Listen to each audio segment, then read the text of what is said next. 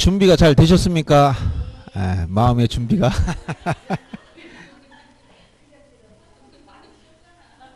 음. 자, 등기법에 가면 이제 1장에서는 크게 이제 무엇이 문제되냐면 음, 등기 사항하고 등기 효력하고 등기 유효요건 세 가지가 문제됩니다. 그래서 여러분들이 안 한 것은 유효요건을 지난번에 하진 않았었어요. 그래서 등기 종류는 강론에서 다 다시 하기 때문에 굳이 따로 안 했었고 그래서 어, 어, 앞에 뭐 우리나라 등기조의 특징과 문제점 뭐 이런 것들은 크게 뭐 시험에서 중요시 되진 않아요.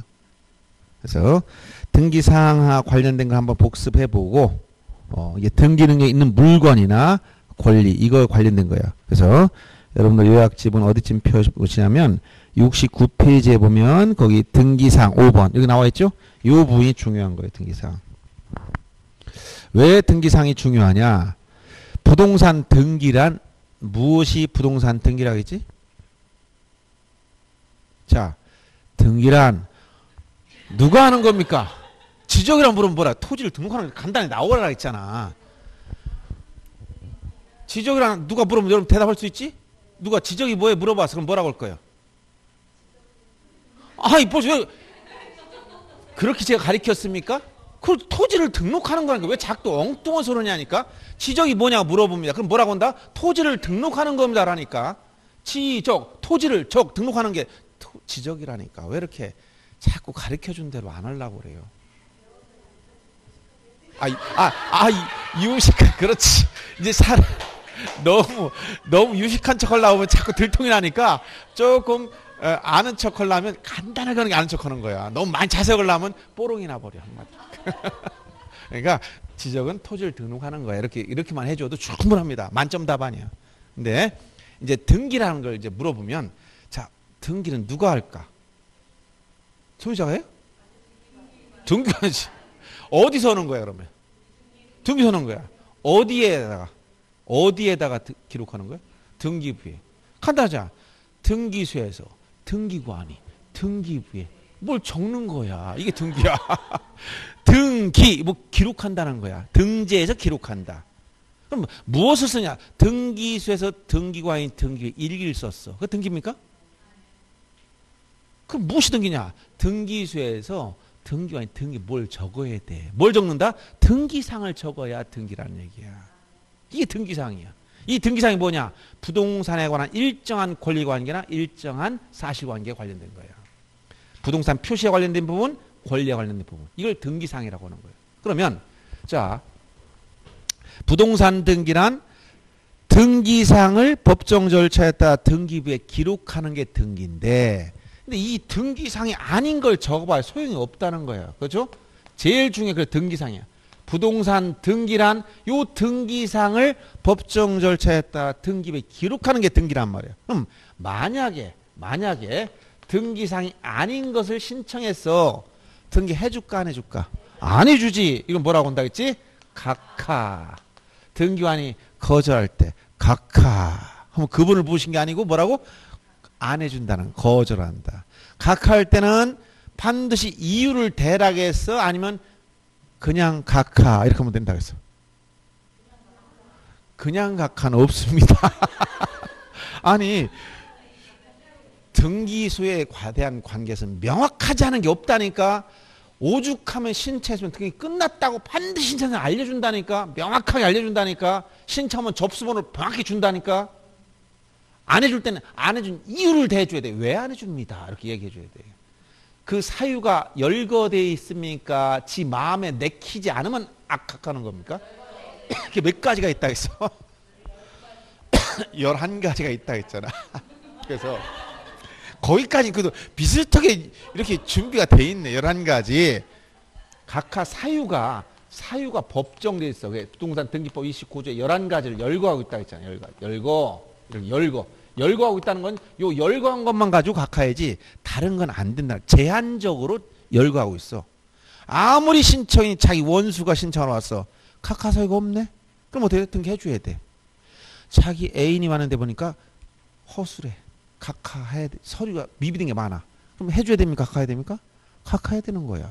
이거 봐요. 이걸 제한적 열거라고 하는 거예요. 요 사유만 가지고 거절해야지 나머지 가지고는 각할 수가 없다는 거예요. 그 중에 가장 중요한 게 몇 호? 1호하고 2호인데 1호가 관할 위반인데 특별히 문제일 게 없지. 등기 잘못 찾아왔으니까.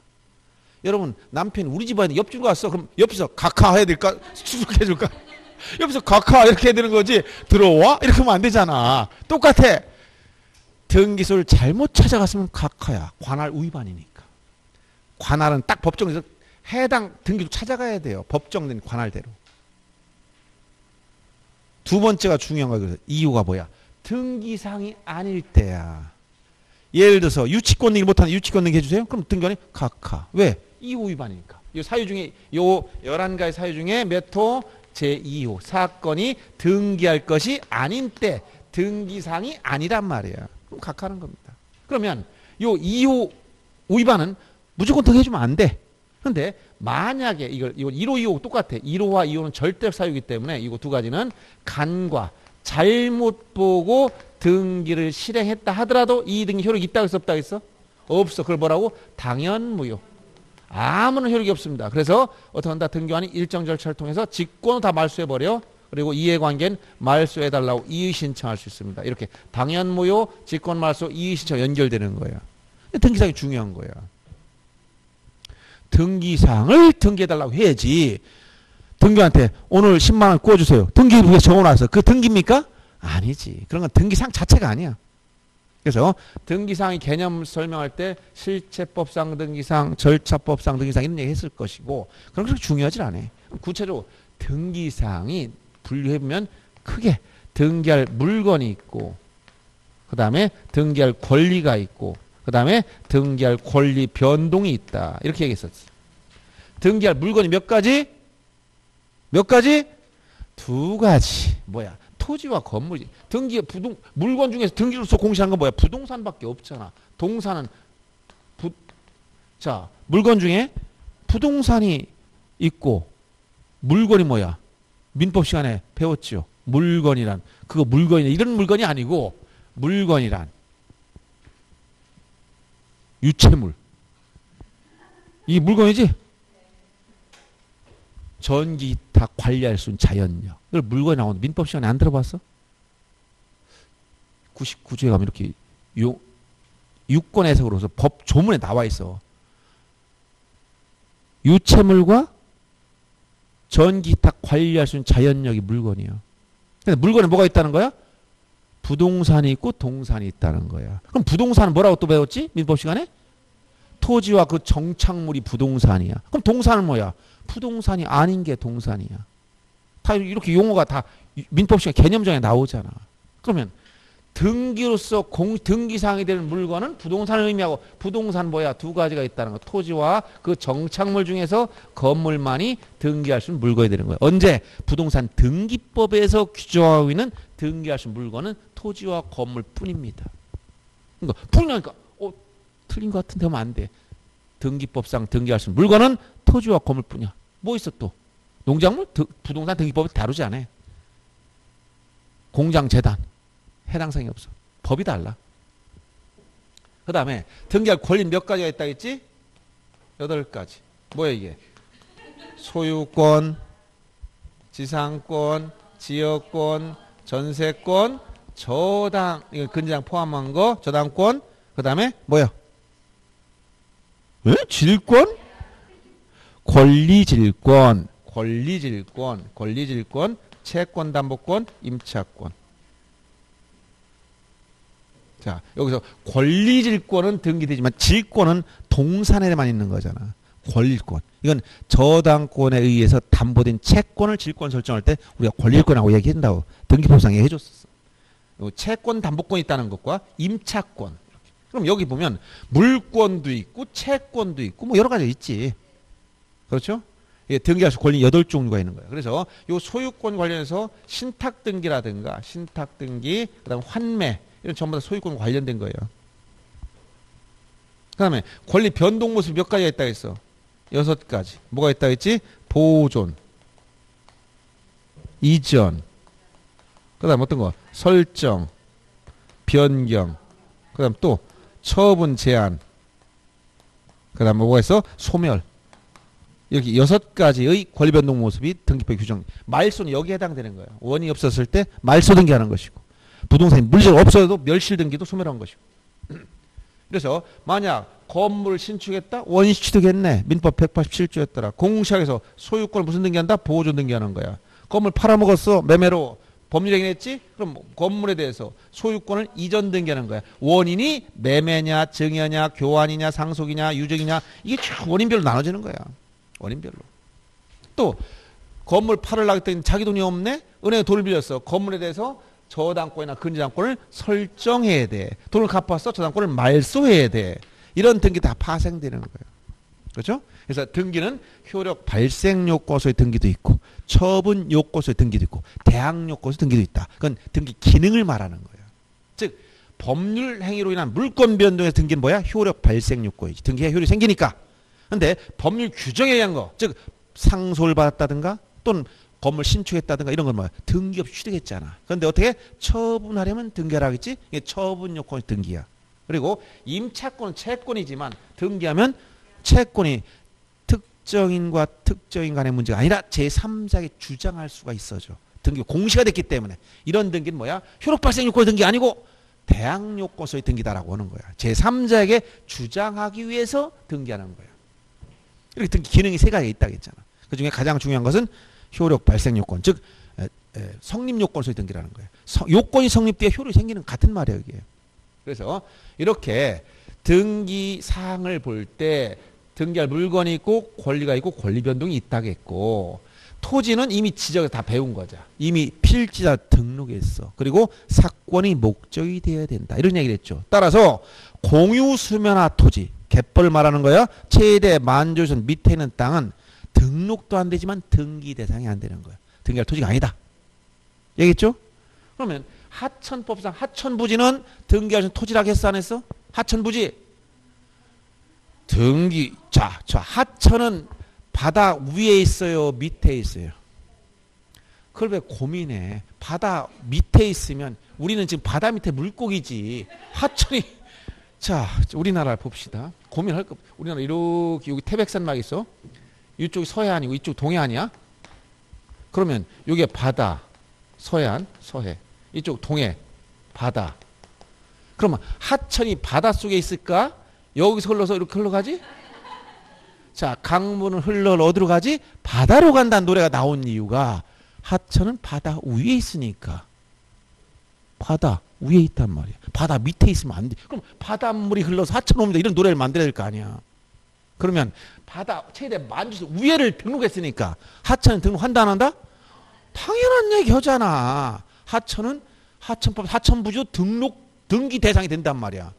대신 하천 부지에 대해서 왜 등기 여부 문제되냐면 과거에 하천 국유제를 실시할 때는 개인 소유권 인정 안 해줬어. 그래서 사건의 목적이 안 됐기 때문에 등기를 못했지만 하천 국유제가 폐지됐다 했지. 노무현 정부 시절에.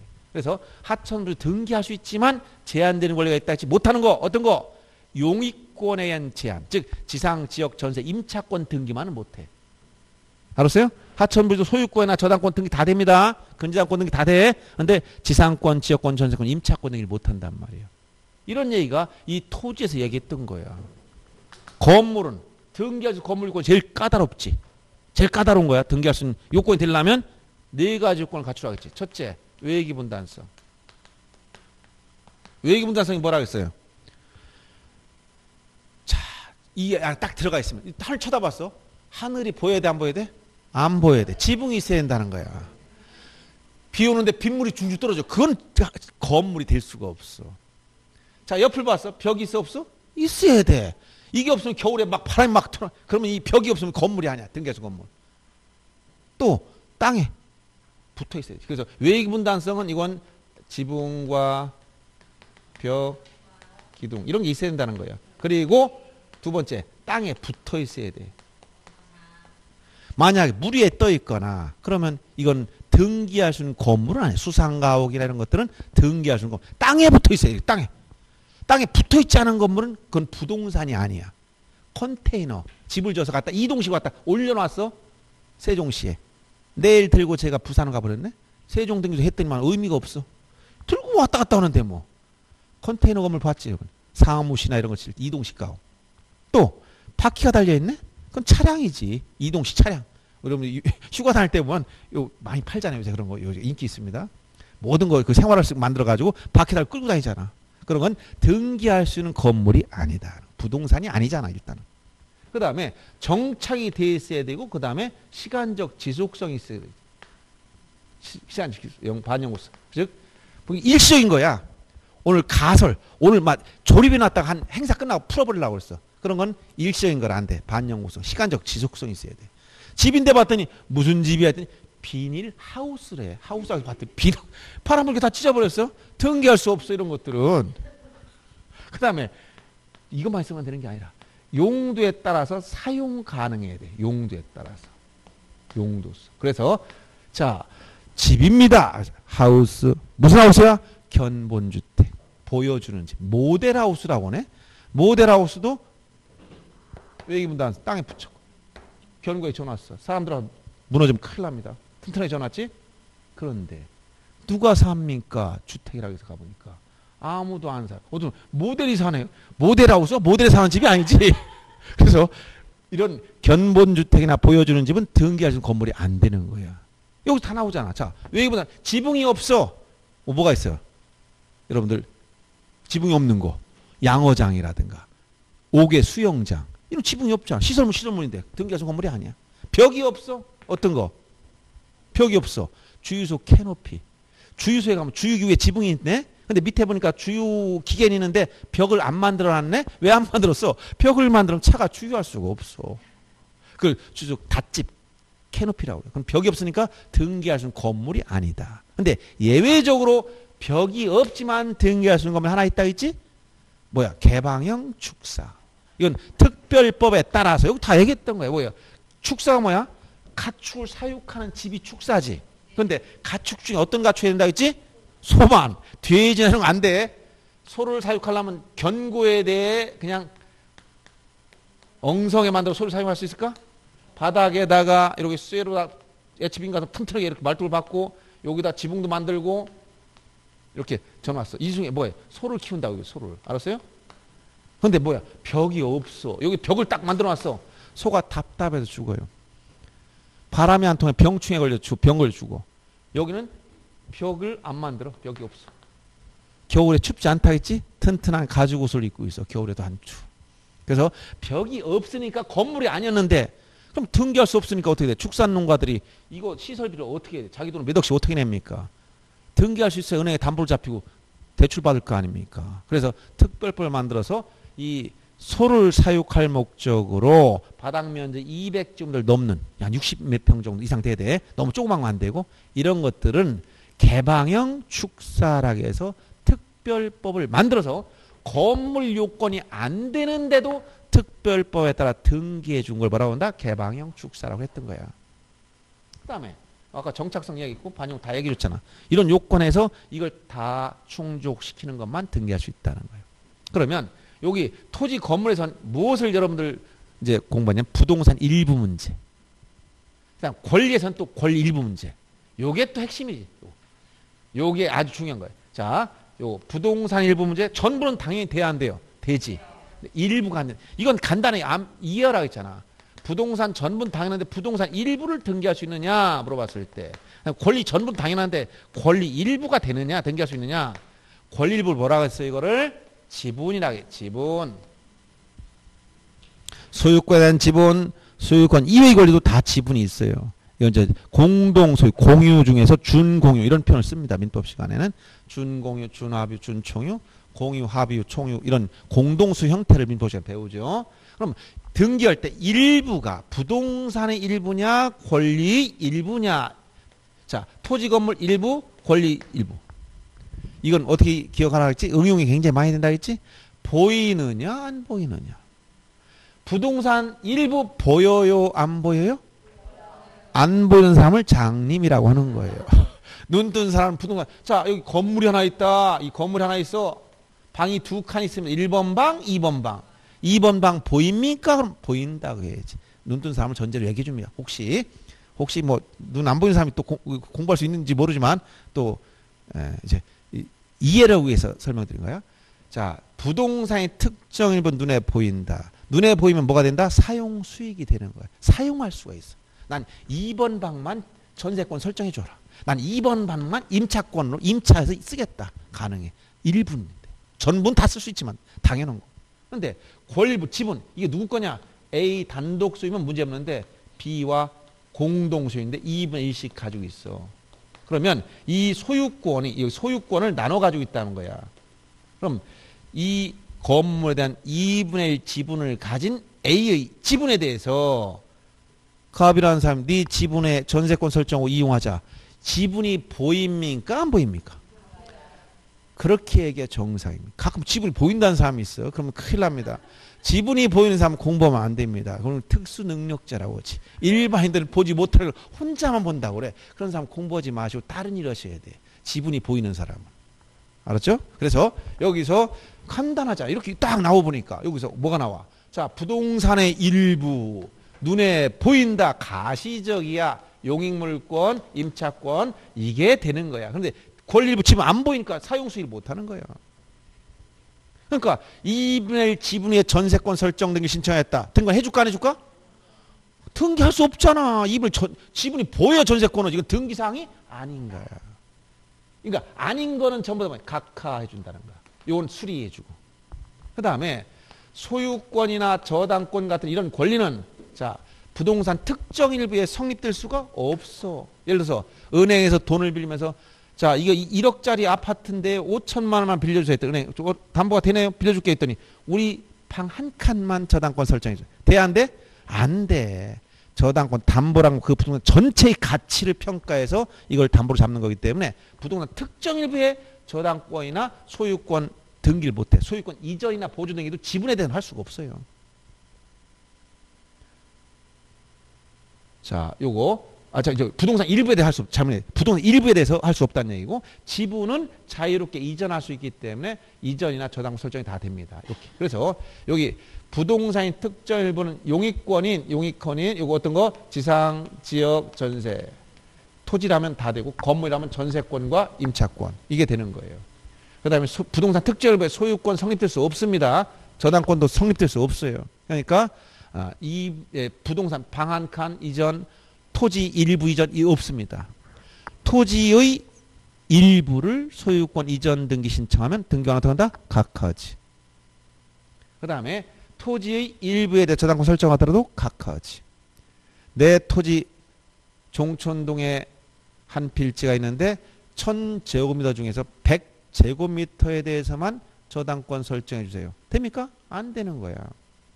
등기할 수 없어. 등기상이 아니.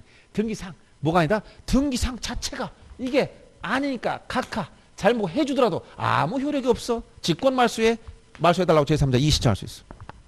이 연결되는 거예요.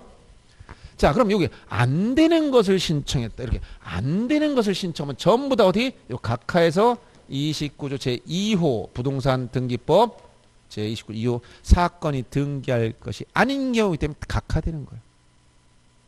그럼 다음 중 직권 말소 대상이 무엇이냐? 이런 것들은 다 직권말소이죠. 직권말소. 똑같죠?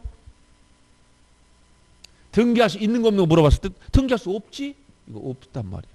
부동산 일부의 소유권 이전 등기 신청하다 각하. 그럼 여기서 소유권 이전 이건 이전성을 전제로 한 거기 때문에 이전이 이전성을 전제로 한 거 이전할 수 있다는 거. 그러면 이전할 수 있어야 있어야 되는 것인데 이걸 전제로 해서 암, 이전할 수 있으면 가등기도 됩니다. 또 압류나 가압류. 경매 기입 등기. 전부 다 뭐야? 요게 가능했을 때 따라오는 말들이야. 알았어요? 그러면 소유권의 일부 이게 뭐야? 지분이지. 소유권의 일부를 이전할 수 있으니까 소유권의 일부인 지분에 대한 압류나 가압류나 경매 기입 등이나 가 등이 다 되지만 소유권의 일부 지분에 대해서 지상권, 지역권, 전세권, 임차권 등이 못하는 거예요. 부동산 특정 일부엔 이건 되지만 이걸 이전할 수 없으니까 토지 오른쪽 절반만 압류해 주세요. 가압류 주세요. 안 돼. 이전할 수 없으니까. 알았어요? 이건 원리를 이 이거 뭔데? 다 사유별 어떻게 암기해 이거를? 눈에 보이느냐? 안 보이. 이거만 끝난 거야. 이해했으면. 알았어요? 아, 이걸 전제로 중요한 개념을 얘기한 거 이게. 이거 여기서 무엇이 파생됐어? 합병 제한 사유. 등기오니까 합필 제한. 이게 나오지. 이게 여기서 나온다고 얘기했잖아요. 왜? 부동산이 일부의 용의권이 설정 가능하니까. 이게 뭐야? 합필이 합 지적에서 합병 등기 합필이라는 용어를 쓴다 했지? 그럼 보세요. 두 필지 이상의 토지를 한 필지로 합하여 등록하는 것을 지적에서 합병이다라고 표현했어. 두 필지 토지를 A가 한 필지로 합칠 때 집원은 선순위 집원이요. 면적 합산 처리하고 측량하지 않는다 했어. 두 필지 이상의 토지 하나 합쳤잖아. 토지 합병. 근데 합병 제한 사유 임창용 이외 등기에서 합병할 수 없다 했지. 그러면 예를 들어서 요 A가 11번지에 요건 B에게 지상권 설정해 줬어. 지상권. 그럼 지상권이 설정된 토지 안된 토지는 용익물권 합병이 되지. 왜? 부동산의 오른쪽만 사용할 수 있잖아. 근데 이게 뭐야? 지상권이나 저당권이 설정됐어. 여기 11 여기 B한테. 그러면 11번지는 합병체는 전부니까 다 된다 했잖아. 합병으로 하니까 뭐가 돼? 오른쪽 절반만. 부동산 일부만. 저당권 설정이 할 수가 없네. 각하. 이해돼요? 이게 다 여기서 나오는 거야. 그 기본 원리가. 이 기본 원리 좀 이해해라. 이런 얘기야. 이걸 무조건 암기 올라가지 말고 이해를 해라. 이 문제가 다 연결됩니다. 자, 첫째, 어디서 연결돼? 등기상이 아닌 거. 등기할 수 없다는 거. 신청은 각하됩니다. 요 문제와 약간 응용, 또 어떤 문제가 또 출제 많이 됐어? 여러분들, 절차의 개시, 등기 절차의 개시가 몇 가지가 있다 했지? 절차의 개시 몇 가지? 네 가지가 있잖아. 등기소에서 이거 어렵게 생각하지 말고 여기 세종 등기소, 조치원 등기소, 등기소에 등기관이 앉아 있습니다. 오늘 출근 앉아 있어. 일을 하려고 했어. 앉아 있어. 시작해야 되겠어. 어떻게 시작한다는 거야? 어? 아, 해달라고 해야 움직인다니까 신청해야. 신청이 없으면 움직이질 않아. 오늘 출근했는데 아침부터 저녁까지 아무도 안 왔어. 놀다 간 겁니까? 열심히 일했습니까? 아주 열심히 일했어. 아무도 안 왔을 뿐이야. 열심히 일해서 자기는 해주려고 기다리고 있었어. 아침부터. 아무도 안 왔어. 신청이 있어야 움직인다니까. 절차, 등기 절차에 계시 첫째 신청해야 된다는 거예요. 이 신청의 기본 원리는 뭐야? 공동신청 원칙이라고 했죠. 근데 신청 주체가 개인이 아니야. 관공서야. 대등한 지위네. 촉탁이라는 용어를 쓴다 했지. 자, 소관청, 시장 등이 촉탁이 들어왔다. 그럼 해제. 이것도 신청하고 똑같은 거야. 외부에서 해달라고 요구했으니까. 자기가 하는 게 아니잖아. 근데 법률에 이거 보세요. 직권 말소. 이게 직권 누구야? 등기관이 직 자기가 법에 이건 말소해라고 법에 규정돼 있어. 법률에. 그러니까 등기관이 스스로 직권을 하겠다. 예외적인 거 이건. 그리고 등기관 결정 처음이 잘못해서 법원에서 어, 명령을 내려. 이거 뭐 이의신청 과정에서 명령 등기해 줘라. 말소해라. 이렇게 명령 내려. 이건 오로지 이의신청 과정에밖에 없어요. 이렇게 절차 개시가 네 가지가 있어요. 알았어요? 그러면 압류나 가압류나 경매 기입 등 같은 거 누가 하는 거야? 그럼 법원에서 촉탁 들어오는 거야. 개인 할 수가 없어. 알았어요? 채권자가 채무자 건물에 대해서 가압류를 신청하였다. 가압류를 신청할 수 있어 없어? 없어. 법원에 가서 신청한 법원 촉탁으로밖에 안 되는 등기야. 그런 등기 가압류는 신청 절차 개시가 잘못되기 때문에 각하됩니다. 어디로 가? 여기 29제 2호. 등기사항이 아니기 때문에 가압류 등기는 신청할 수 없는 등기입니다. 촉탁으로밖에 안 돼. 절차의 개중에 뭐밖에 안 된다? 이렇게밖에 안 된다는 거야. 그러니까 가압류를 신청하였다. 신청이 잘못된 거예요. 이런 개념을 이해해야 된다는 거예요. 예, 등기상 문제는 이런 내용들 원리를 이해해야만 문제를 풀 수 있어. 그렇지 않으면 어려워지는 겁니다. 그래서 이 등기상에 관련돼서 이런 말 했고 그 다음에 권리 변동 모습이 여섯 가지가 있다 했는데 여기서 처분 제한 등기가 있어서 처분할 수 있다 해서 없다 해서 처분 제한 등기 있어 처분할 수 있다 없다? 있다 있지. 처분 금지 가처분 등기가 돼도 처분할 수 있습니다. 절대 금지가 아니라 상대 금지야. 근데 여기서 이 권리 변동 모습 관련해서 이거 시험에 자주 나온 세 가지 기억하겠지? 지분만 전원 명의. 요거 시험에 자주 나온 거. 첫째 제일 많이 나오는 소유권 보존등기. 보존등기는 공유자 중 1위는 자기 지분만 보존등기 할 수가 없고 전원 명의로 상속등기도 수인의 공동 상속인 중 일부가 1인이 자기 지분만 상속등기 할 수 없고 전원 명의로 그 다음에 또 어떤 게 있다고 했지? 가등기에 의한 본등기는 수인의 가등기권자 중 일부 1위는 자기 지분만 본등기할 수 있지 전부에 대한 본등기 못해. 시험에 제일 많이 나오기 세 가지라겠지.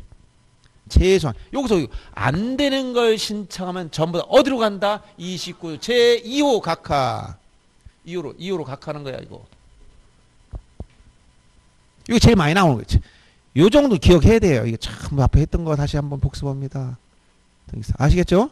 자, 이렇게 등기상 문제에서 요, 요 내용이 중요하다는 걸 알려 준 겁니다. 자, 그래서 이렇게 등기상 문제를 한번 전체적으로 복습해 봤고, 그 다음에 오늘은 이제 여기서 등기 유효 요건하고 효력을 보는데 효력은 이미 앞에서 한번 했지만 복습할 겁니다. 그래서 등기 효력은 몇 가지 있었지? 참고로 이걸 보고 이건 이제 복습용으로 한번 정리해 준 겁니다. 자, 보세요. 등기 효력부터 먼저 보겠습니다. 등기, 효력. 등기 효력은 효력을 기준으로 등기를 나누면 어떻게 나눠진다 했냐면 종국 등기와 예외 등기로 나눈다. 효력 기준 등기를 나누면 종국 등기, 종국 등기, 그 다음에 예비 등기. 예비 등기 속에 뭐가 있다 했지? 이게 오로지 가 등기밖에 없어요. 종국 등기는 물권 변동으로 직접 생긴 등기, 이건 물권 변동이 어, 생기지 않는 등기예요. 그러면 등기 효력이라고 했을 때는 어떤 등기 효를 말하느냐? 다른 말이 없으면 이 종국 등기 효를 말하는 거예요. 그러면 등기 효력은 크게 보면 자 첫째가 뭐가 있다 해서 물권 변동 즉 권리 변동적 효력 등기함으로써 물권 변동의 효력이 생겨. 이건 어디 성립 요건주세겠지. 민법 186조가 뭐라 그랬어요? 법률 행위로 인한 물권의 특실 변경은 어떻게 한다? 등기를 하여야 그 효력이 발생해. 물권 변동, 권리 변동 효력이 생긴다는 거예요. 이건, 이건 당연히 독법주의, 성립요건주의 당연히 쓰는 거예요. 그 다음에 두 번째가 뭐야? 대항적 효력. 대항적 효력. 대항적 효력은 뭐예요? 이건 등기 세 가지 기능 중에 대항 요건에서 등기가 있다 했지? 임차권이나 환매권, 신탁 등기나 신청 정보 중 임의적 내용이 있어. 임의적 기록상. 어떤 거? 저당권의 이자율 약정이라든가 전세권 존속기한 약정이나 약정이 있으면 거기에 따라가는 거예요. 이건 등기하면 대항력이 생기는 거예요. 이걸 대항적 대항이란 말은 뭐야? 당사자 이외의 제3자에게 주장할 수 있다는 거예요. 주장할 수 있다. 그다음 세 번째 순위 어, 이제 개념만 볼 때 이제 점유적 효력이라는 게 있다 있지? 점유적 효력. 점유적 효력이 뭐야? 점유적. 취득 시효 기간을 단축시키는 효력이 있다. 자, 민법 시간에 배웠죠. 200 몇 조입니까? 그 조문도 잘 지금 갑자기 생각 안 나는데 점유 취득 시효 배웠어 안 배웠어? 예. 네. 등기부 취득 시효 배웠어 안 배웠어? 배웠지. 그정 지금 배웠어야지. 점유 취득 시효 기간이 몇 몇 년입니까? 20년간 소유자로 평온 공연하게 부동산을 점유한 자는 등기함으로써 효력을 발생하는 것도 규정했지? 그럼 이때 점취금 몇 년? 20년 해야 돼. 근데 소유자 등기인 자는 10년간 서, 소유자 평온 공연하게 선임이며 과실 없이가 추가되지? 그러면 즉시 소유권을 취득합니다. 그러면 점유 취득 시효는 20년이고 등기가 된 자는 10년인데 왜 기간이 차이 나느냐? 단순 점유만 한 것과 등기인 경우는 차이가 나잖아. 이건 뭐야? 등기가 10년을 먹고 들어간 거야. 10년 깎아줬지? 그럼 등기가 10년간 점유한 것과 같은 효력이 있다는 거야. 부동산을 점유. 그래서 이걸 뭐라고 한다? 취득 시간 단축 효력이다. 이렇게 설명했어요. 그 다음에 형식적 확정력 내지 후등기 저지력. 형식적 확정력. 이걸 다른 말로 후등기 저지력. 등기는 등기 자체만으로도 형식적 확정이기 때문에 비록 등기가 무효인 등기라도 그것이 말소되기 전에는 이와 양립할 수 없는 등기를 신청할 수가 없습니다. 무효인 등기라도 뭐가 남아있다 해서 내가 이거 뭐라 그랬어 이걸 그렇지 껍데기 효과 생각 돼지 껍데기 쓸모가 있다 없다? 있다겠잖아 민법 시간에 껍데기는 아무 효력이 없어 민법에서는 실, 실체법에서는 알맹이가 없으면 뭐야? 효력이 무효야. 무효면 그냥 아무것도 없는 거야. 근데 등기법은 달라. 무효인 등기라도 뭐가 있다고? 빈 껍데기가 남아 있다는 거야. 그래서 뭐가 있어? 그 껍데기를 제거를 해야 돼. 그렇지 않으면 다른 일 못해. 그래서 전에 설명했잖아. 이 건물 A가 B한테 전세권 등기해줬어. 그럼 전세권 물권 언제 성립하는 겁니까? 전세권 물권 언제 성립한다? 등기해야 되지. 민법 186조에 따라 설정 계약을 하고 이에 따라 등기하면 물권 전세권이 성립된 거. 언제? 등기하면 접수한 때. 얘기했잖아. 그러면 등기부에 얘가 전세권자 등기했으면 등기부 을구에 소유권 이외에 걸리니까 여기에 이렇게 전세권 설정 이렇게 등기하고 전세금 1억 기간 얼마 전세권자 피 이렇게 등기돼 얘가 전세권 가지고 있는 거야 물권인 전세권 임대차가 아니라 물권 전세권 근데 전세권이 말려서 얘가 나갔어 돈 받고 그러면 여기 지금 집엔 다 비어 있는데 등기부엔 뭐가 있어? 껍데기가 남아 있잖아. 알았어요? 근데 A가 어 그래 또 제3자 어 다시 전세권 설정해 줄게. C한테 설정해 줄 수 있느냐? 못 한다는 거야. 왜? 빈 껍데기는 이게 남아 있지만 요게 형식적 확정력이 있어서 껍데기 효과가 있어서 요 밑에 후 등기를 못하게 막고 있다는 거야. 알았어요? 그래서 이걸 제거해야만 설정이 가능해. 이런 걸 뭐라고 한다? 형식적 확정력 후등기 저지력 껍데기 효과 돼지 껍데기 생각해야 돼 돼지 껍데기도 효과 있다 안주 쓰더라 이런 얘기를 했잖아 그 다음에 또 하나 설명한 것이 순위 확정적 효력 이런 얘기 순위 확정적 효력 순위 확정적 효력이랑 같은 부동산에 대해서 등기한 권리 순위를 따질 때 그것은 무엇을 따라간다? 등기 순서, 등기의 순서를 따라가라는 거예요. 그래서 같은 구에서는 무슨 번호? 순위 번호. 다른 구에서는 무슨 번호? 접수 번호. 이게 동순별접. 법률에 다른 규정이 없으면 이렇게 따라가라 했는데 법률에 다른 규정이 있다겠어요? 없다겠어요? 유일하게 하나가 있다겠잖아. 유일하게 하나가 있어. 등기한 같은 부동산에 대한 등기한 권리 순위를 따질 때 법률에 규정이 없으면 등기한 순서를 따라가라. 그럼 규정이 있으면 그걸 따라가는 거야. 규정이 유일하게 하나 있어. 등기법 61조 제2항. 대지권에 대한 등기로서 효력 있는 등기와 대지권의 목적인 토지 등기 기록의 해당한 사항. 그건 뭐 해야 된다? 접수번호 해야 된다. 이 접수번호 유일하게 하나가 있다 해서 자주 나온다고 얘기했는데 생각이 안 날 수도 있습니다. 자주 보야 돼. 여러분들이 그게 자주 안 날 수 있어. 전에 에, 얘기해 준 게 있어요. 설명해 줬을 텐데 그 하나를 기억하면 되고 그 다음에 여기 마지막으로 뭐가 있다? 추정적 효력. 여기 추정적 효력. 추정적 효력은 뭐라 했어요? 어떤 등기가 있으면 그에 상하는 권리 관계가 존재하는 걸 추정을 한다. 등기가 전세권 등기가 있네. 그럼 전세권이 존재하는 추정하는 거예요. 소유권이 이전됐어. 그럼 이전 받은 사람이 소유권이랑 권리가 있는 걸 추정받는 거예요. 그럼 추정이란 건 뭘 추정한다고 했어? 지금 권리를 추정한다. 권리. 권리는 등기 뭐 어디에 있어? 갑구나 을구에 있잖아. 그러니까 갑굴구 아닌 표제부는 뭐야? 부동산 표시지? 요 표제분 추정력이 없는 거예요. 표제분 뭐로 만든 거야 이거? 대장을 근거로 만들어서 대장은 추정력이 있다 없다? 없는 거야. 권리를 공시한 장부가 아니기 때문에. 모든 게 다 연결되는 거지. 이거 굳이 억, 억지로 암결라고 하지 마. 이해를 하면 생각을 하면 다 따라 나오는 거예요.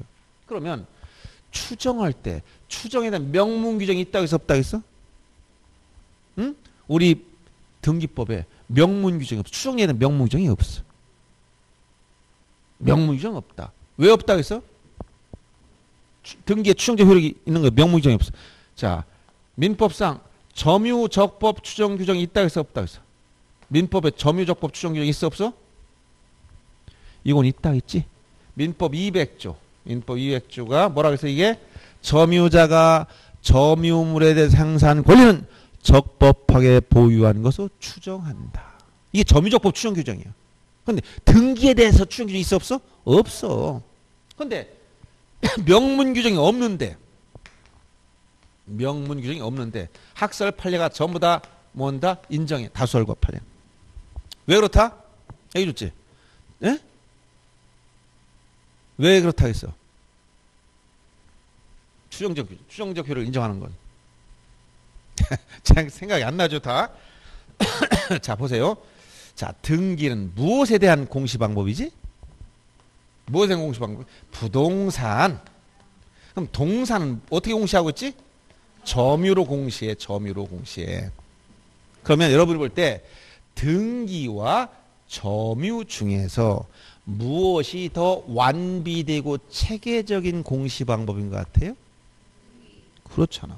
국가가 엄청난 비용을 들여 등기소를 만들고 등기관들 채용해서 월급 주고 전국의 조직을 만 이걸 관리하려면 엄청난 비용이 들어가잖아. 점유는 뭐야? 내가 점유하고 있네? 놓쳤어. 점유 상실. 이게 체계적인 거야 이게? 점유 상실은 끝나는 거잖아. 그러면 그런데 점유에 대한 뭐가 있다고? 명문정이 있다는 거 이렇게 점유자가 점유물에 대해서 행사한 권리는 적법하게 보유하고 수정한다. 여러분 책 가지고 있네. 책이 동산이야 부동산이야? 지금 보는 책. 여러분 지금 점유하고 있어요? 근데 어떻게 추정한다고?